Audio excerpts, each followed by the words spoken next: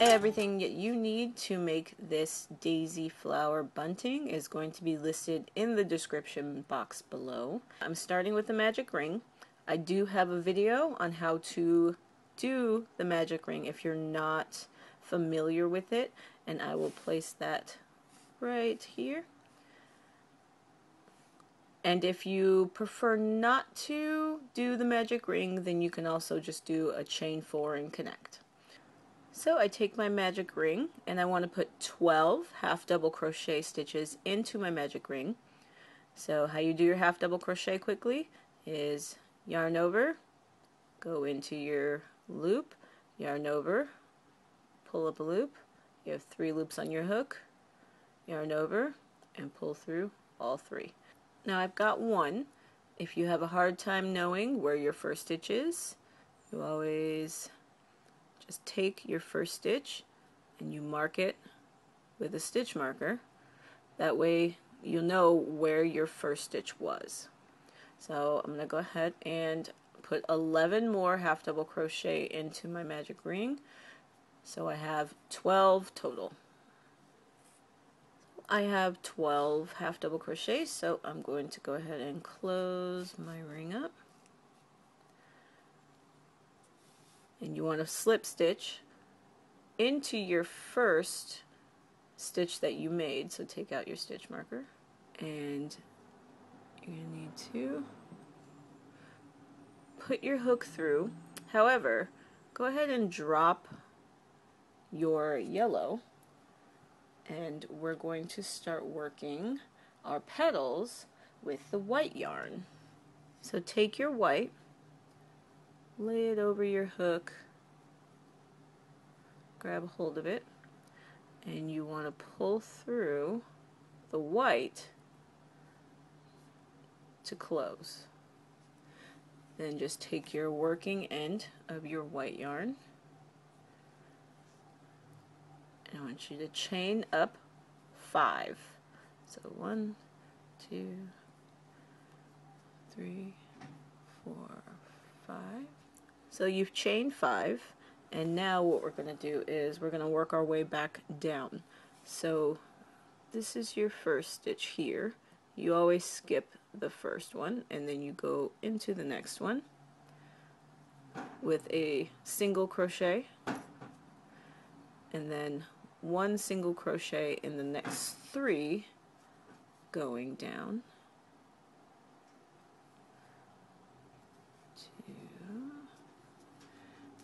that last one don't skip it you need four single crochets going down each petal so you chain up five that gives you four single crochets coming down. And what we're going to do is, this is where we connected, we're just going to go into the next stitch and slip stitch it right on there. Alright, so we've got our first petal. So we slip stitched and now we're just going to chain up five again.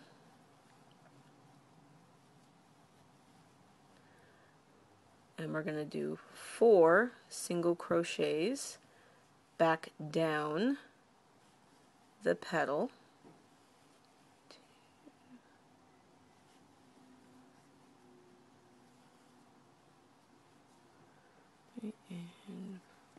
four find your next stitch. And go ahead and slip stitch your petal in place. So you're going to do that all the way around and you should end up with 12 petals. So chain up 5, skip your first, that last turning chain. You always skip so that leaves you with 4 on the way back. Find your next stitch, slip stitch it there. So go ahead and continue doing that all the way around until you have 12 petals all the way around. I apologize again if there's been some drastic lighting changes. There's clouds coming back and forth today, and it's messing with my natural lighting, which is the only lighting I use anyway. Uh, but I have my 11 petals, and now I just I have my last one, so I'm going to chain up five, work my four singles down And right here is where my 12th petal will be slip stitched. Now you can chain one and you can cut your yarn because you're done with the yellow and you're done with the white. I've got my flower with my 12 petals and I haven't sewn in my ends or anything. I'll do that after I'm done. And just make sure that all of your strings on the back are pulled nice and tightly so everything falls into place properly.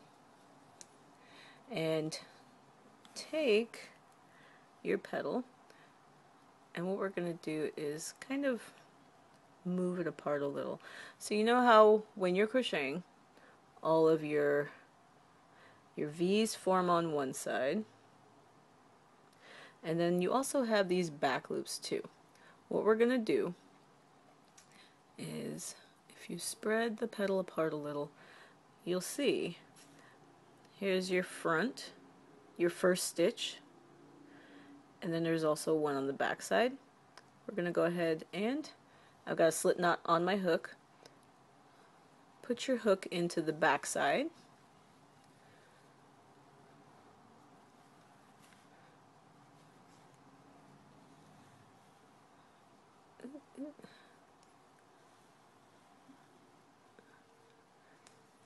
We're going to start our single crochets right there.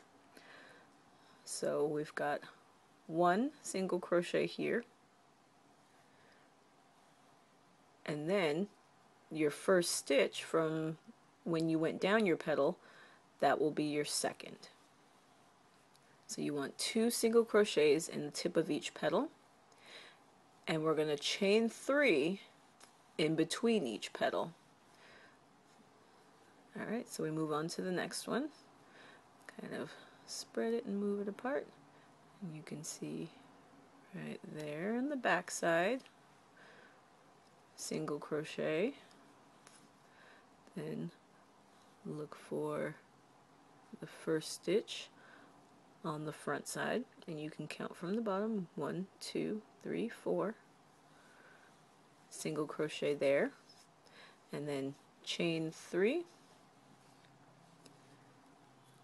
one more I'll show you Spread your petal apart a bit. Find the back and single crochet into that one. And then single crochet into your first stitch from the other side and chain three.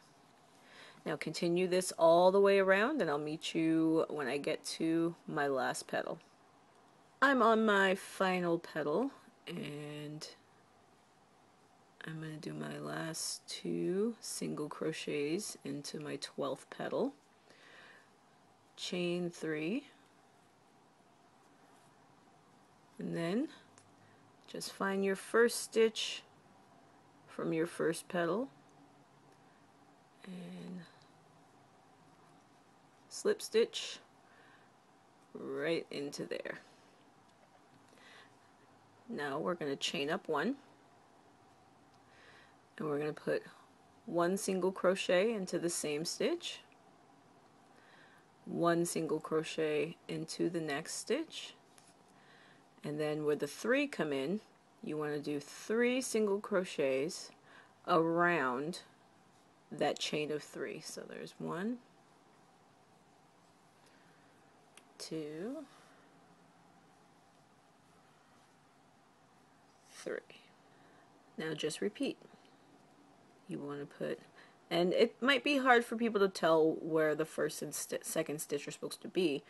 First stitch is actually here not here. And that's gonna that might be kind of a challenge for some people. It looks like it's not really gonna be able to get your hook in there but this is the next stitch right here. And it's kind of on the corner. So there's one then your second one is the easily accessible one. Two, and then three around your three chains. I know it's kind of a dark color I'm using. So the first one, just look for your, your V's or look for your stitches. Here's that first one. And it's kind of off to the side. So go ahead and put your hook in there. Single crochet. Single crochet. And then three around the chain three. Continue that all the way around and I'll meet you at the other side. I'm at my last section before I connect. And like I always say if you need to stitch mark your first stitch of a row around to know where that you where you need to stop or where you need to connect always do so. I didn't do it with this round because I forgot. Uh, but I know how to get there. It's base it's mainly for people watching that don't know how. Uh, so I have my last two single crochets in the top of the petal.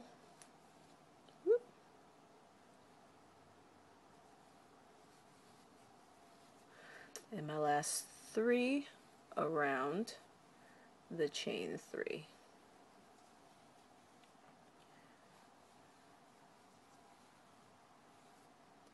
And then my first stitch is right here this is the chain one this is the stitch. And I'm going to slip stitch right into that spot. Alright now this is where we form the triangle. So you want to chain up two. The chain two is not going to count in this pattern. So you chain up two then you want to double crochet into the spot the same stitch as the chain two. So you pull through two, pull through two, your first double crochet, and since this chain three does not count, to make it a little easier for you to know where to stop, the top stitch that you just did is from your double crochet. Go ahead and mark it so you know where to connect your round. So we're going to do five double crochet. This chain two doesn't count. This first double crochet is number one. Now you want to do four more.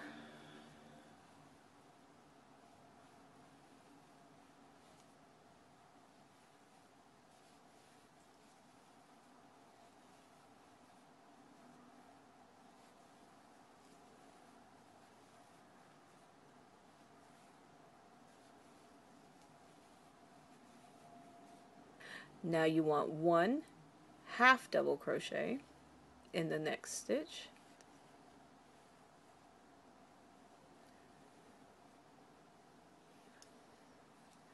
Now you want eight single crochet. So single crochet and then one single crochet in the next eight. So one,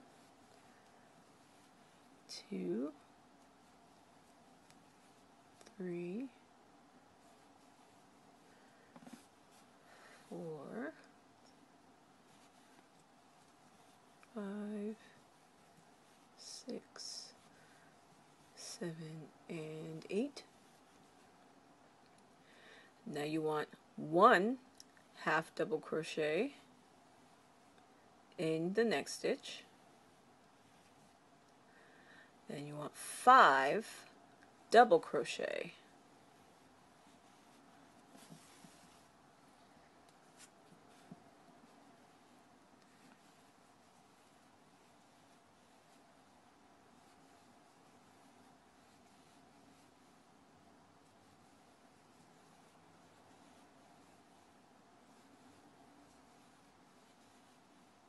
So that's one side of our triangle.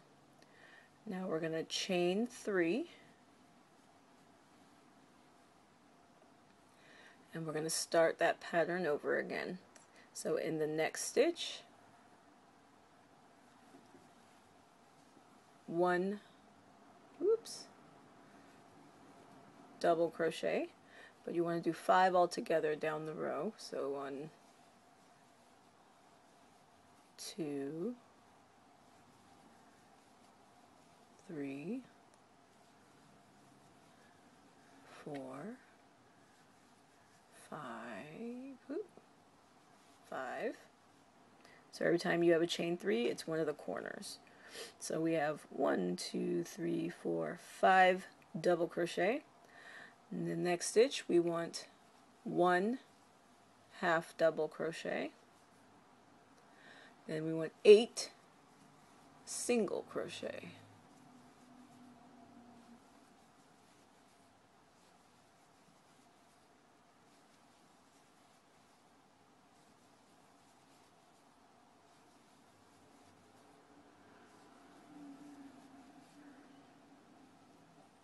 Then we're going to go back up to the peak. So one half double crochet followed by five double crochet.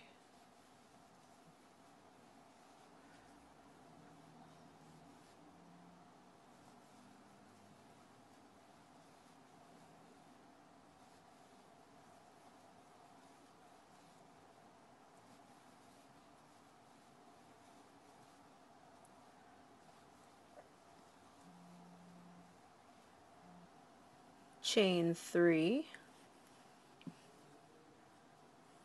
and our last side is going to be starting the next stitch. One five double crochet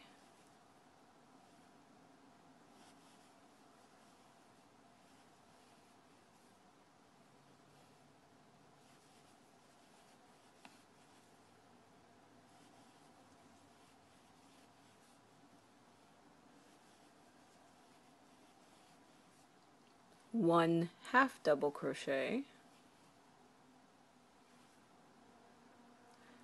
eight single crochet,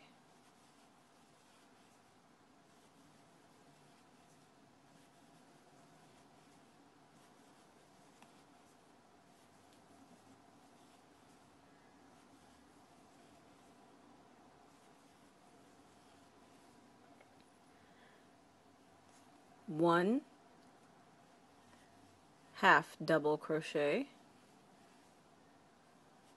five double crochet. In the last five stitches.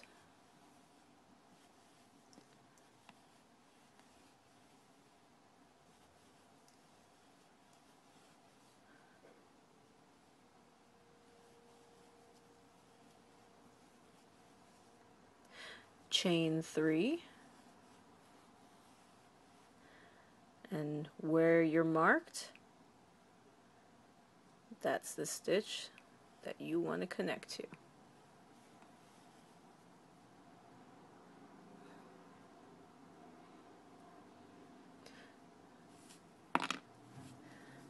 Alright, so you formed the three corners. And our next row will be our final row and it makes it look much more like a triangle. So now we're on our last row, our last round I should say. So what we're going to do is chain up two. This chain does not count and you want to put one double crochet into the same stitch again mark that top stitch so you know where you need to connect. And now we want to put double crochets in the next two stitches as well. So we have a total of three double crochets.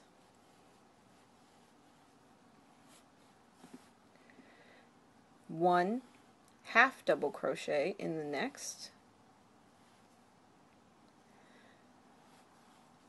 one single crochet in the next 12 so you're going to do 12 single crochets. That was one two three four five six seven eight nine ten eleven and twelve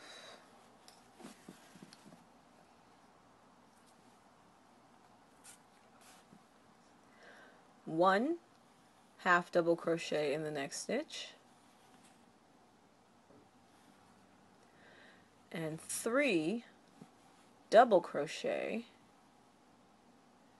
into the last three stitches on this side.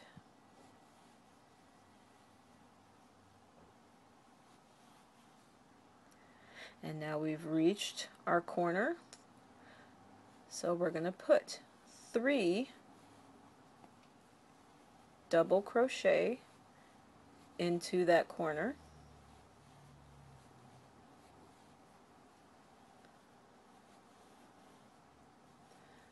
Chain three and put three more double crochet into the same corner.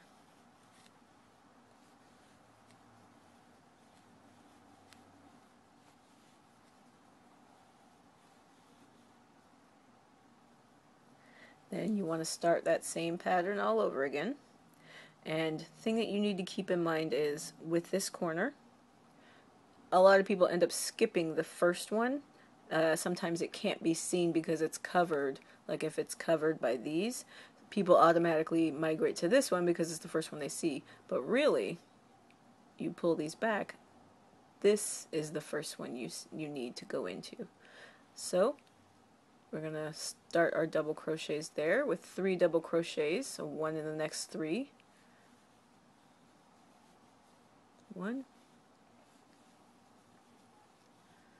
two, three, one half double crochet, 12 single crochet,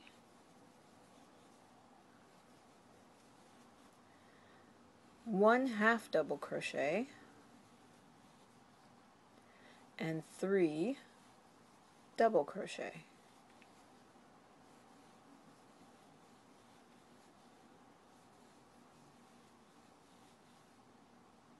Now we've reached another corner so we're going to do three double crochet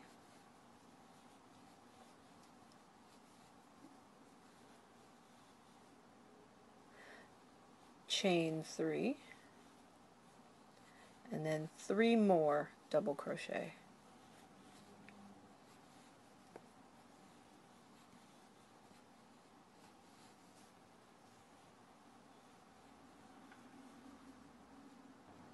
Now we're on our last side of the triangle. So remember not to skip that first stitch right there. And we're going to do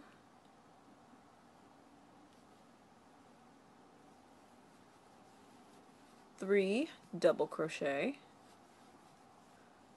one half double crochet, 12 single crochet, one half double crochet,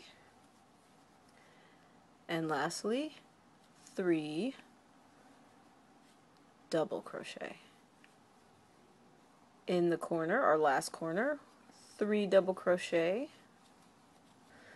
chain three and and three more double crochet.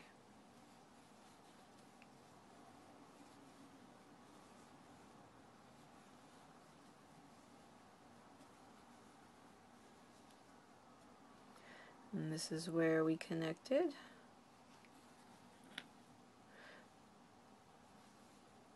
Just slip stitch right to there chain one, pull it through, cut your yarn, pull it through, and you should probably stretch out your corners just a little. And there we have our tri our first triangle for our bunting. And I've seen people hang their triangles upside down. I've seen them with, you know, pointed downwards. It's however you want to do it. Now I'll show you how I connected mine. You can pretty much connect your bunting however you want to. If you want to do them flush up against each other or, you know, a few inches apart, that's fine. So with a slip knot on your hook, one option you have is to you can make a chain of five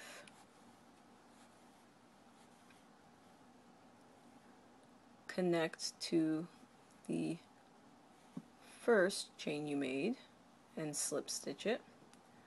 That way you have a loop. If you're going to hang your bunting, you have a loop that you can hang it from. And then go ahead and chain as many as you want for the end. I'll just chain one, two, three, four, five. I'll chain six. So you've got your loop to hang it. You've got your chain of six. And go ahead and take your triangle, go into the corner and make that your first single crochet. And then put one single crochet in each stitch along the top.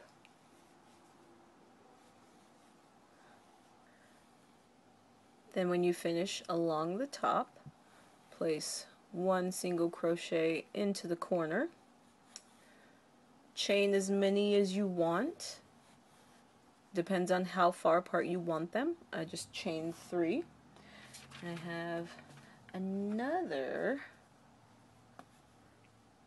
that I worked on yesterday. And all you gotta do is start with your next one. Start in the corner. Put your hook in. Turn that into the first double, or sorry, the first single crochet and then just put one in each along the top until you have all of your triangles on. Then lastly, put one in the corner. And for demonstration purposes, I'm just going to say that this is the end. Like, I'm put these two together. This is the end of what I've got since I started with a chain 5 connect and then chain of 6 I'll do that but in the opposite direction. So chain of 6 1 2 3 4 5 6 then I'm going to do now if you need to at this point mark where your sixth stitch was mark it. And then I'm going to chain up five more for the loop one two, three, four, five. And then you just want to slip stitch into where you connected.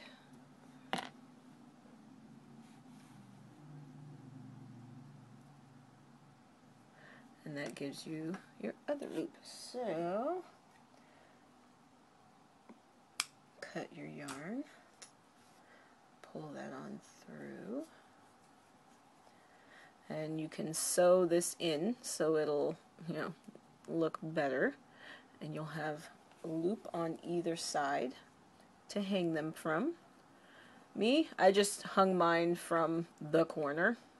And I'll show you what uh, my finished one that's hanging above my shelves looks like so this is my finished bunting. I picked, you know, some brighter colors for spring. I've been feeling very springy and I'm ready.